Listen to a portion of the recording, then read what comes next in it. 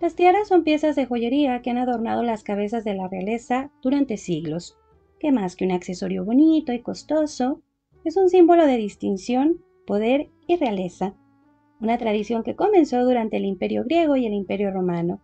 Sin embargo, fue Napoleón Bonaparte quien las puso de moda en Europa, al encargar tocados carísimos para su emperatriz Josefina. Las tiaras de Josefina resultaron tan impactantes que las mujeres de todas las cortes reales del mundo comenzaron a adquirir las propias. Al final el reinado de Napoleón duró prácticamente nada, pero esta moda de las tiaras llegó para quedarse, y aunque muchas de las tiaras históricas de la realeza ya no existen, se han conservado algunas muy importantes y se han creado otras muy impactantes. Y a continuación les presento algunas. Comencemos con la tiara con flecos de la Reina María. Esta es una tiara de las más famosas de la colección de la realeza británica. Fue hecha en 1919 y tiene 47 barras de diamantes, que originalmente pertenecían a un collar que la entonces reina Victoria le regaló a María de Teck para su boda en 1893, ya que María de Teck se estaba casando con el nieto de la reina Victoria y futuro monarca Jorge V. Como reina consorte, María de Teck la usaba con mucha frecuencia, hasta que en el año 1936 le regaló a su nuera, la nueva reina consorte, Isabel Bowes Lyon, quien eventualmente la entregó a su hija, la fallecida reina Isabel II de Gran Bretaña, quien la usó el día de su boda. También la usó en otros eventos muy importantes y la prestó para que otras mujeres de la familia también la lucieran, sobre todo en sus bodas reales. Desde luego que esa tiara sigue en la colección de la familia real británica y hoy se le considera una tiara más que cara invaluable. Después tenemos la tiara Habsburgo-Lorena, también conocida como la tiara imperial austriaca. Esta fue creada en Viena alrededor de 1890. Tiene diamantes engastados en plata y oro, y fue diseñada para la archiduquesa María Teresa, esposa del heredero al trono austriaco, el archiduque Carlos Luis. Sin embargo, Carlos murió antes de ascender al trono, lo que significó que María Teresa nunca llegó a ser emperatriz. Pero bueno, sigamos con la tiara. Eventualmente María Teresa se la heredó a su hija Elizabeth Amalia, quien fue princesa consorte de Liechtenstein por su matrimonio con Alois. A partir de aquí, esta tiara pasó a las consortes de Liechtenstein y se ha usado en las bodas reales más importantes de ese país, como la de la condesa María Angle cuando se casó con el monarca actual Hans Adam II, esto en 1967. Hoy en día María Angle, que sería la princesa consorte, ya falleció, pero la tiara la usa muy seguido la princesa heredera Sophie, que es la esposa del futuro monarca, el príncipe Alois. El valor de esta tiara en particular se ha calculado hasta en 80 millones de dólares. A continuación tenemos la tiara de la gran duquesa Vladimir. Esta fue creada en el año 1874 y tiene círculos de diamantes engastados con perlas y esmeraldas, fue originalmente adquirida por María de Mecklenburgo-Schwerin, esposa del gran duque Vladimir Alexandrovich de Rusia, quien era miembro de la familia real Romanov por ser el hijo del zar ruso Alejandro II. Por eso es que a la tiara se le conoce con este nombre. Pero en el año 1917, la Revolución rusa derrocó la monarquía. Entonces, muchas de las joyas de la familia fueron robadas, vendidas o simplemente desaparecieron. Sin embargo, esta tiara en particular terminó escondida en una caja fuerte de la familia real Romanov, y finalmente un agente británico, en complicidad con un hijo de María, consiguieron sacarla del país para llevarla a Londres, donde la hija de María, la gran duquesa Elena Vladimirovna, terminó quedándose con ella, pero más tarde decidió venderla a la entonces reina consorte de Gran Bretaña, María de Teck, y cuando ella murió en el año 1953, esta tiara fue heredada a su nieta, la reina Isabel II, quien tomó esta como una de sus favoritas. De hecho, esta fue la última tiara con la que a ella se le fotografió en público. Actualmente permanece en la colección de la familia real británica, pero no ha sido usada por nadie desde la muerte de Isabel II en el año 2022. Una característica muy peculiar que tiene esta tiara es que las piedras principales suelen intercambiarse, por eso es que a veces aparece con esmeraldas, con perlas o sin ninguna de las dos. Y a continuación tenemos a la tiara de las nueve provincias. Hecha en el año 1926 por un joyero belga, esta tiara tiene una base de diamantes de estilo griego y once grandes diamantes redondos. Todo simboliza a la Casa Real, las nueve provincias belgas y el Congo, que en ese tiempo estaba anexado todavía a este reino. Esta tiara en particular se realizó para la princesa sueca Astrid, quien se casaba con el futuro rey belga Leopoldo III, y de hecho fue entregada a Astrid como un regalo del pueblo belga.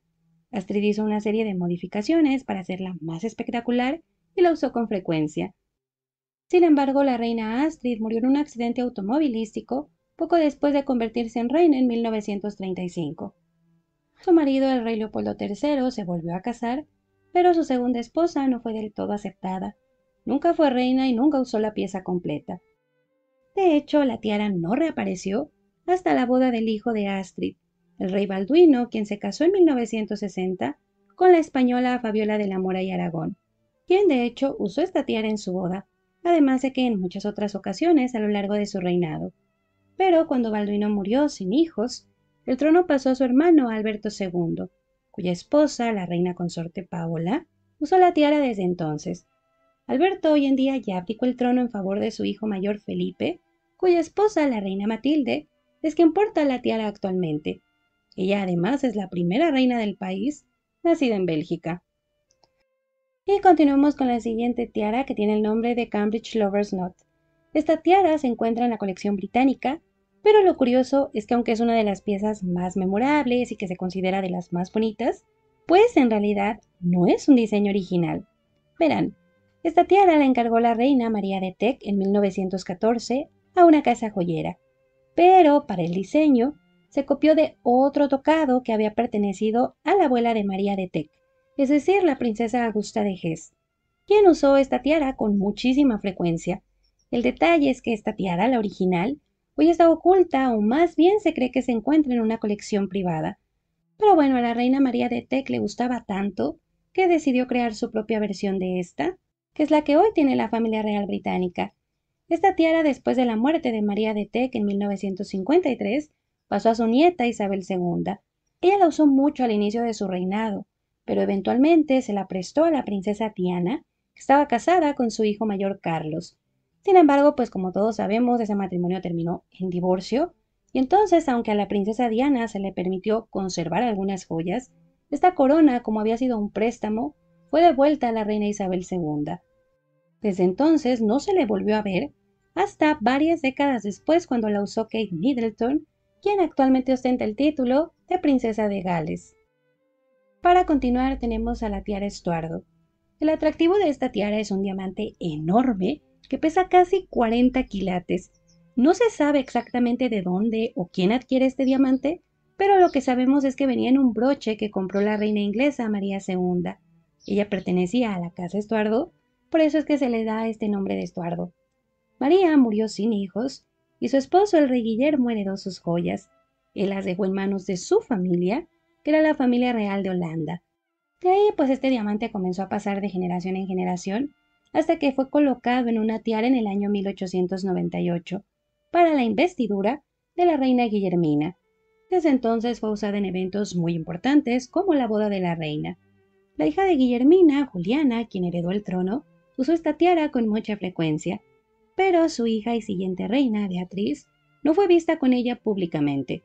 Sin embargo, actualmente la tiara ha vuelto a resurgir y es usada por la reina consorte Máxima, aunque no es muy común que la use con todo y diamante, porque básicamente la reserva como para las ocasiones más especiales. Y continuando tenemos a la tiara holandesa de zafiro. Esta también es de la colección de la familia real de los Países Bajos. Está adornada con 33 zafiros intercambiables con perlas y 655 diamantes. Fue elaborada en 1881 y entregada a la reina Emma, esposa del rey Guillermo III de los Países Bajos. Ella lo usó en numerosas ocasiones a partir de entonces. Después del fallecimiento de Emma en 1934, la tiara de zafiro fue heredada a su única nieta, entonces princesa heredera Juliana. Otras mujeres de la familia también la usaron, pero con muchos menos zafiros. La hija de Juliana, la reina Beatriz, la tomó como una de sus favoritas y la actual reina máxima la usó para la toma de posesión de su esposo, para lo que le realizó algunas modificaciones, aunque más tarde la volvió a su forma original para usarla en visitas de Estado. Después tenemos la tiara prusiana del meandro. Fabricada en el año 1905, esta tiara tiene diamantes engastados con platino y un gran diamante brillante. La tiara se hizo como un regalo de bodas para la duquesa Cecilia de Mecklenburgo-Schwerin, de parte de su esposo, Guillermo, príncipe heredero alemán. Pero debido a que la monarquía alemana fue abolida, la pareja heredera nunca llegó a reinar. Aún así, Cecilia pudo conservar sus joyas y esta tiara la usó durante toda su vida en eventos familiares. En el año 1938, su hijo, el príncipe Luis Fernando, jefe de la casa Hohenzollern, que fue la casa que reinó Alemania, se casó con la gran duquesa Kira, que era hija del jefe de la casa Romanov. Desde entonces, la tiara ha pasado a los herederos de esta pareja, que básicamente son los jefes de la casa Hohenzollern, y son sus consortes quienes la conservan y la portan en los eventos familiares. Continuando tenemos a la tiara prusiana. Aunque en apariencia esta es muy pequeña, tiene una historia muy interesante. Elaborada con platino y diamantes, se realizó en 1913 para la princesa Victoria de Prusia, que era la única hija del emperador Guillermo II de Alemania. La princesa Victoria se casó con el príncipe Ernesto Augusto de Hannover, uniendo así dos casas que habían sido rivales durante mucho tiempo. Sin embargo, bueno, ni el trono de Hannover ni el de Alemania siguieron vigentes, pero aún así, esta historia de amor se describe como la de Romeo y Julieta. Pero bueno, enfoquémonos en la tiara. Victoria se la regaló a su hija Federica de Hannover, quien en 1938 se casó con el futuro rey de Grecia, Pablo I, pero ella la usó muy poco, y más bien se la terminó dejando a su hija Sofía, quien se convirtió en reina consorte de España por su matrimonio con el rey Juan Carlos I. Sus hijas, las infantas Elena y Cristina, la utilizaron con bastante frecuencia, y la hoy reina Leticia también la utilizó en su boda. Sin embargo, en los últimos años no ha sido vista públicamente, así que no está muy claro si va a pasar a ser del uso común de Leticia o si va a pasar directamente a la nieta de Sofía, que es la futura reina Leonor. Y a continuación tenemos a la tiara de rubí danesa. Jean-Baptiste Bernadotte, uno de los mariscales de Napoleón, que adquirió esta tiara carísima para su esposa Desiree Clary, que, por cierto, era exprometida de Napoleón. Por cosas del destino y de la política, Jean-Baptiste terminó siendo elegido rey de Suecia como Carlos XIV, y su esposa fue reina consorte de Suecia, por lo que esta tiara básicamente se volvió una clásica de esa monarquía.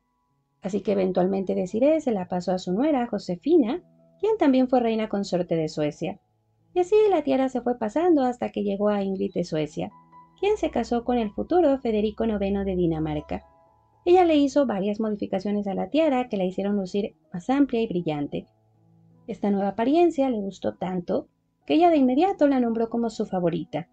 Ella eventualmente se la heredó a su nieto, el ahora rey Federico X, cuya esposa María, ahora la reina consorte, la ha usado con frecuencia desde hace algunos años. Después tenemos la diadema estatal de Jorge IV. Fabricada en el año 1820, esta tiara está compuesta por 1.333 diamantes, con plata, oro y perlas, que forman rosas inglesas, cardos escoceses y tréboles irlandeses. Originalmente se hizo para el propio monarca, que la usó en su camino a la abadía de Westminster para su coronación. En aquella ocasión tan magnífica, esta diadema llevaba también un gorro de terciopelo violeta. Cabe mencionar que al inicio las piedras preciosas que usan la corona eran alquiladas, hasta que luego de algunos años la familia real decidió comprarlas. Eventualmente los monarcas británicos adquirieron otras coronas y esta se dejó para el uso de las mujeres, pero exclusivamente de las reinas y las reinas consortes así es que son ellas quienes la han utilizado desde entonces. Actualmente quien la utiliza es la reina consorte Camila. A continuación tenemos a la tiara de la princesa Catarina. Catarina era una noble rusa, cuyo esposo, el príncipe alemán Guido, era uno de los hombres más ricos de su tiempo, quien decidió regalarle a su esposa una de las joyas más espectaculares del mundo, y es esta tiara, con un total de 11 esmeraldas en forma de pera que descansan sobre hileras de diamantes talla cojín, engastados en plata y oro. estimado que en total todo suma unos 500 quilates. Pero no hay que dejarnos engañar. Es que se dice que Guido nunca amó por completo a Caterina, sino que vivió enamorado de su primera esposa, una cortesana que falleció antes que él. Pero bueno, el punto es que esta tiara se fue dando entre la familia hasta que ellos decidieron venderla en 1979 y después fue subastada en el año 2011 a un comprador que desea permanecer anónimo, que no ha querido exhibir esta tiara y que no pertenece ni a la realeza ni a la nobleza, lo que es una pena porque no podemos ver esta tiara. Pero bueno, ya ni modo. Pasemos a la siguiente tiara, que es la de diamantes de la reina Sonia. Entre las muchas tiaras que tiene la familia real de Noruega, esta es una muy interesante, porque resulta que es una réplica, pero se los voy a explicar a continuación. Resulta que la original fue regalada a la princesa británica Maud de Gales en el año 1896. El regalo vino de su padre, el rey Eduardo VII, esto porque Maud se estaba casando con el futuro Hakon VII de Noruega, un matrimonio por el que Maud llegó a ser reina consorte. Esta tiara tenía tres niveles con una base de diamantes, algunos en forma de pera. Era tan impresionante que algunas damas de la realeza británica le pidieron a Maud que les prestara esta tiara, usándola en eventos muy importantes como la coronación de Eduardo VII. A la muerte de Maud, esta tiara se quedó en la familia real de Noruega, pero, por desgracia, en el año 1995 fue robada cuando se dirigía a la joyería Garran para su valoración y mantenimiento. Desde luego que hubieron muchos intentos por localizarla, se dieron recompensas y todo tipo de investigaciones, pero hasta el día de hoy no se sabe qué pasó con ella ni quiénes fueron los ladrones. Sin embargo, para compensar la pérdida, la joyería hizo una réplica exacta y la entregó a la familia real de Noruega. Actualmente la reina consorte Sonia es quien la usa con bastante frecuencia. Después tenemos la tiara con flecos de diamantes de la reina Sirinkit.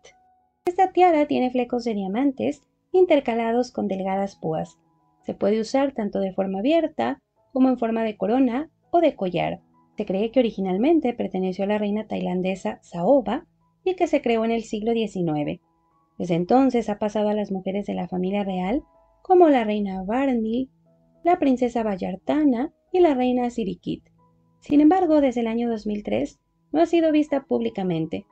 Esto puede ser porque el actual monarca, Rama X, ha tenido una vida familiar bastante polémica. Se ha casado con mujeres que son plebeyas, a unas luego las encarcela, de otras se divorcia. Entonces el puesto de reina consorte como tal, pues no está ocupado y tampoco ha sido algo muy estable durante su reinado. Pero bueno, sigamos con la siguiente tiara, y es la tiara de Cameo. Esta tiara tiene oro amarillo y perlas, que forman escenas de la mitología greco-romana. Fue regalada originalmente por Napoleón a su emperatriz Josefina en el año 1809.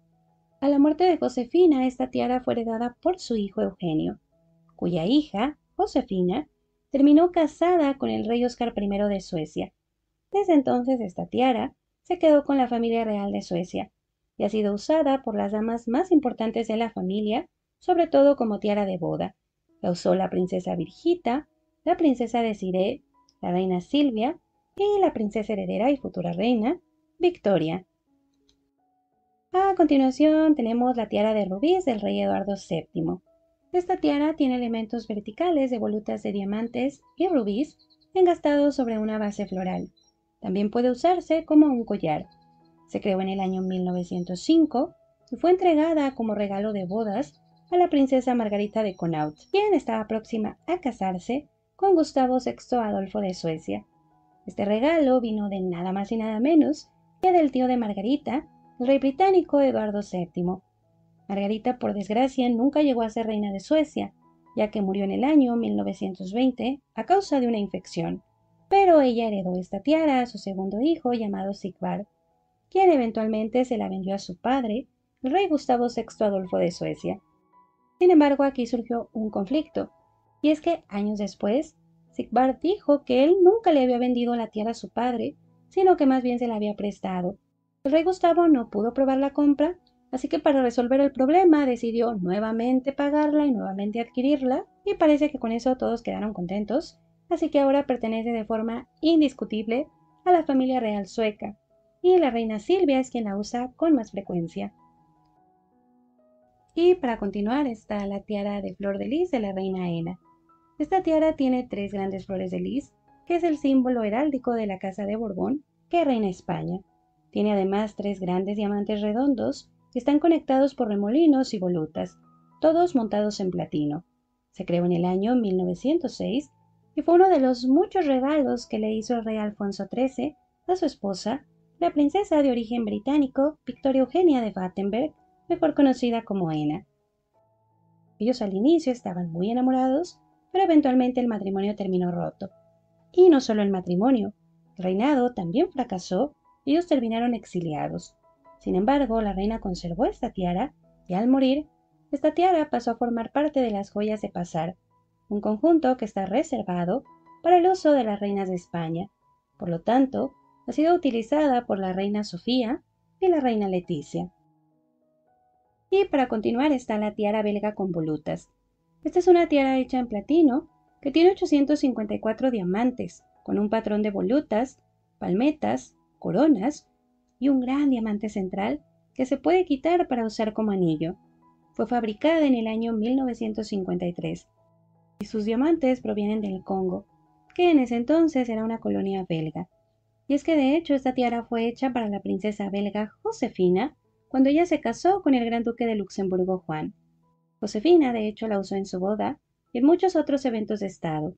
Pero a su muerte en el año 2005, muchas de sus joyas fueron subastadas por sus hijos, ya que ella se las dejó a ellos porque no había simpatía entre ella y su nuera María Teresa, que era la siguiente gran duquesa de Luxemburgo.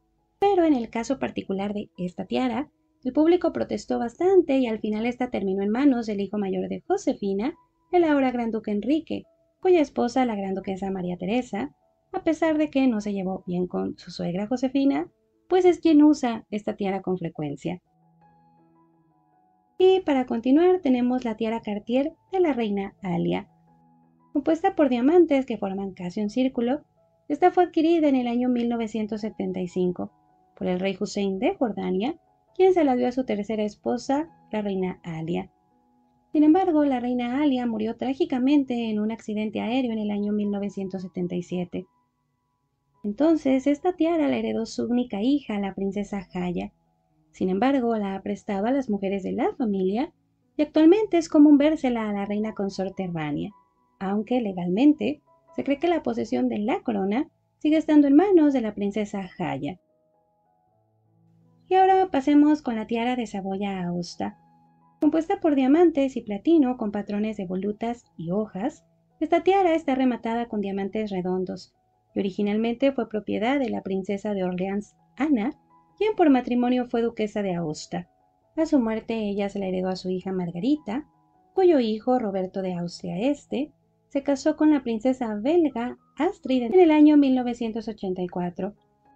Astrid es la única hermana legítima que tiene el actual monarca de Bélgica, Felipe, por lo que ella acude a muchos eventos de Estado, casi siempre utilizando esta tiara, aunque no se sabe con certeza quién tiene legalmente la posesión de esta tiara, porque de hecho son varias mujeres en la familia las que la utilizan. A continuación está la tiara Yedibe de Egipto. Esta es una tiara clásica de rollos de diamantes, algunos de los cuales tienen diseño de hoja de laurel. Es convertible para usarse como adorno de ramillete y fue realizada en el año 1905.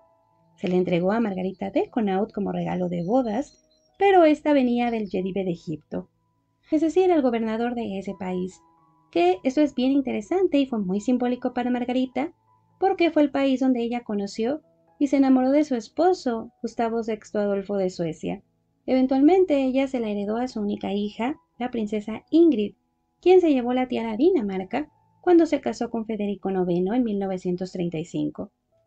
Después de la muerte de Ingrid en el año 2000, ella le dejó esta tiara a su hija menor, Ana Marie, quien estuvo casada con el último rey de Grecia, Constantino II, y aunque ya esa monarquía no existe y ella no es ni reina consorte ni nada, pues sigue usándola en eventos familiares porque ella generalmente tiene presencia todavía en los eventos más importantes de la realeza europea. Y para continuar está la tiara de diamantes de la reina Sofía, adornada con diamantes grandes y rectangulares colocados en forma de coronas. Esta tiara perteneció originalmente a la princesa Sofía de Prusia, hermana del emperador Guillermo II de Alemania. Nadie sabe cómo llegó a ella, pero Sofía se convirtió en reina de Grecia por su matrimonio con Constantino I. En el año 1938, ella entregó esta tiara a su nuera, Federica de Hanover, esposa de Pablo I de Grecia. Federica la usó en su boda y continuó usándola durante algún tiempo, pero luego de que se diera el derrocamiento de su esposo y todos los problemas políticos que al final terminaron con la monarquía de Grecia, pues esta pieza de hecho desapareció del ojo público, lo que hizo que muchos especularan que tal vez se había perdido o la habían vendido. Hasta que en el año 2012, María Chantal, la esposa de Pablo, el pretendiente al trono de Grecia, y nieto de Federica de Hanover, apareció luciendo esta tiara y demostrando que seguía en propiedad de la que una vez fue la familia real de Grecia, aunque no es algo que se use con demasiada frecuencia. Y después está la tiara Meiji, que fue creada alrededor del año 1880 en Francia. Esta tiara está llena de diamantes y fue hecha por orden del emperador japonés Meiji, de ahí que tenga este nombre. A esta tiara se le pueden agregar puntas con forma de estrella y algunos diamantes también son quitapón. La primera en portarla fue precisamente la esposa de Meiji, esa fue la emperatriz Shoken. A partir de entonces pasó de emperatriz en emperatriz y de hecho fue la tiara principal de la emperatriz Michiko, aunque cuando sus problemas de espalda empeoraron, esta ya resultó demasiado pesada para ella. Pero actualmente quien la usa, pues es la emperatriz consorte y ella es Masako. Y para terminar está la tiara del imperio. Esta es considerada una de las más grandes y espectaculares de toda Europa. Es una enorme tiara con forma de fortaleza de diamantes. Tiene 10 centímetros de alto. Fue realizada aproximadamente en 1829, pero no está muy claro por orden de quién se hizo ni a quién perteneció originalmente.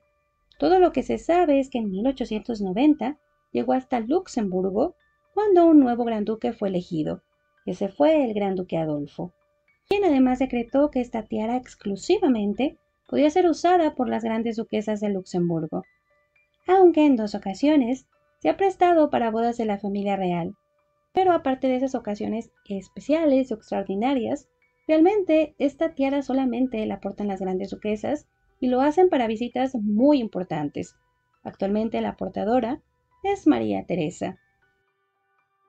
Y pues nada chicos y chicas, con esto concluye esta lista enorme de tiaras, que no son todas las que existen en el mundo, obviamente hay muchas otras que dejé fuera, pero les coloqué estas que son como, ya sea que me llamaron la atención porque están muy bonitas o porque tienen una historia muy interesante, que siempre no hablar de las joyas de la realeza, pues es hablar de esta parte de la historia, de cómo van pasando incluso entre monarquías, no digo sobre todo por cuando se hacían los matrimonios dinásticos, y también es bien interesante, ¿no? Como notar que hay algunas que son muy llamativas, pero que son menos costosas que algunas que en apariencia son muy simples, porque también claro que esta parte de la historia también suma, además de las piezas preciosas y todo eso. Pero en un próximo video hablarles de las coronas de los monarcas. Pero bueno chicas, por el momento eso es todo. Yo espero que les haya gustado el video y muchísimas gracias.